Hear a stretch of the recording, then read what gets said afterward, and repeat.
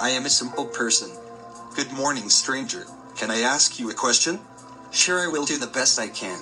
I only hope I can give you what you truly want to hear. I just came back from serving my country and I just can't find any work. I just want to be someone and serve my community. It seems hopeless. I only know one person that really can help you. He has taught many people to make something of themselves. What kind of thing he do? Low voltage, anything to do with cable. He will share everything he knows with you. He will make you fishers of men. You know what I mean? I don't want to get in all that internet stuff. Cause I want to do stuff with my community. I want to work with my people here, that I can see, that's is more meaningful to me. They call him Corman, Cormon. I will tell you more later when I pass back this way later.